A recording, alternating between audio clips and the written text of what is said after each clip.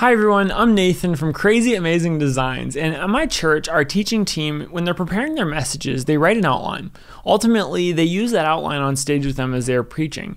So those notes can include as much or as little information as they want, but they always include any scripture, main points, or graphic references they want used on the screens. Here's an example to help you visualize what I'm talking about. On this sheet, each element that needs to be a slide is made bold and digitally highlighted in yellow before printing.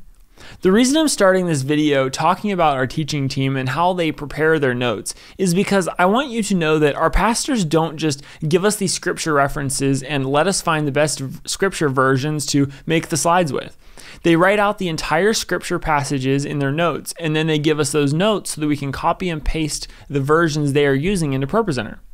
I know a lot of pastors who give the person setting up slides the scripture references through a text or email, and there's nothing wrong with those methods of communication. The issue is with the content itself being incomplete. I want to encourage you to ask your pastor to send you these scripture references and verses written out. This way, no matter what version of the Bible they plan to read from, no one has to worry that the version that goes on the screens won't match the version that the pastor is reading from. One pastor I know sends his team the notes in a simple PDF file, and that it looks like this. Each slide is separated by a simple dash for clarification. This file makes setup in ProPresenter very simple. So now that we have these notes, here are some examples of what your sermon slides might look like inside of ProPresenter. So these are some demos that I grabbed from the themes layout inside of ProPresenter, some of the built-in themes, and you can go and check those out for yourself.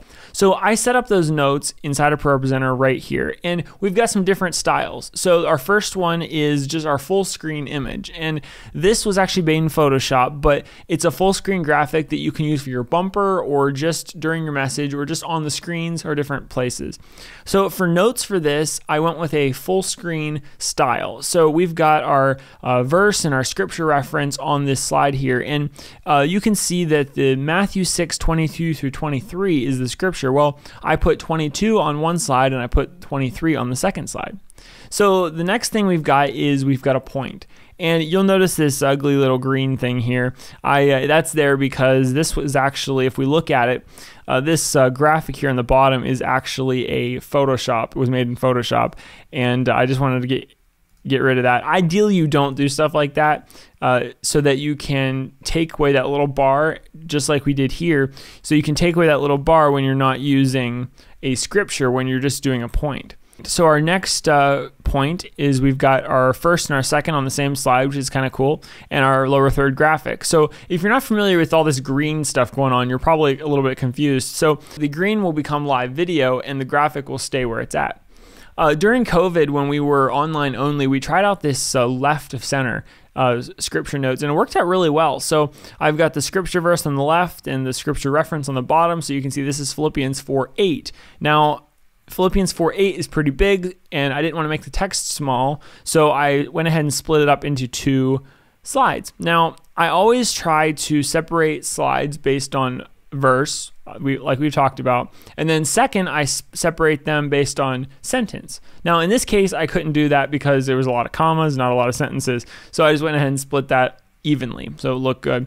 And then on the third point here, you can see we've got all three of our main points for the sermon. A nice three point sermon. And that is a full screen representation of what the three slides thing might look like. So this is just to give you some ideas of what to do with your own sermon notes. And we've tried a lot of things. I've done a lot of things, and there's some cool stuff in here. So once we have decided on a slide style for a series or a sermon, I save it in our sermons theme. And that way we can apply it each week that we're setting up ProPresenter. And again, if you have any questions about Pro7's themes, then check out the video I made on that to show you specifically how to apply a template and how powerful templates are inside of ProPresenter. Let's take a look at some best practices to use when creating scripture slides. Number one I have is display scripture references on each slide. And if you're reading multiple verses back to back, show the range. So like I talked about, we've got Matthew 6, 22 through 23, and I put 22 on one side and 23 on the other side. So number two is when displaying scriptures, I always separate each verse into its own slide. Let's say the scripture is Genesis 1 1 through 2. Pastors like to read verse 1 and then talk about it before reading the next verse. If it's quick, then that's okay, but if it's a story they're telling, then I have to take the lower third slide off the screen. And then when they finally get back around to verse 2, if it's on the same slide, people have to hunt for where they're supposed to be reading from. Pastors don't usually stop mid verse, so separating slides by verses works perfect. Number three, show the verse number at the start of each new verse. If you show each verse on its own slide, the verse number should show before the text on each slide. And as you can see here on 22 and 23, it does just that. Number four, using the built in Bibles in ProPresenter 7 works very well. If your pastor likes to call out scripture that you quickly put up on the screen, then you should definitely be utilizing this. Okay, so let's go ahead and click on Bibles. And in that tab, we're going to be able to look up a scripture in the top here. So let's do uh, Genesis 1 1, for example. Perfect. And now we can make the range 1 through 2. Perfect. Now, down here, we can change the version if we have additional versions installed. And also, we can change the verse and the reference. These are going to change what happens with the template, with the theme that's applied to this. So let's go to options and then we can make some changes. So uh, show verse numbers, we want to do that. Uh, break on new verse, we want to do that. Uh, display translation, if you want to say, hey, this is uh, ASV, then you can go ahead and do that. Font color, a verse reference. So there's some different options you can do inside of here, and you can also select the theme, which is super important. So we could make all of these uh, this lower third here with this uh, cool uh, circle wheel graphic.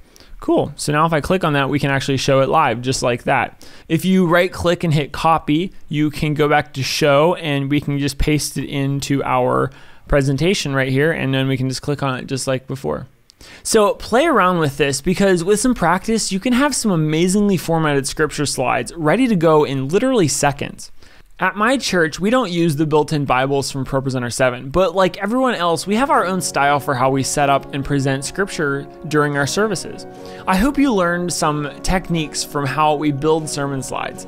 If you have any questions or would like to reach out, leave a comment or send me a DM on Instagram at Crazy Amazing Designs. But before you send the DM, follow our page because we share this kind of content all the time. So thank you so much for watching, and I'll see you guys in the next video.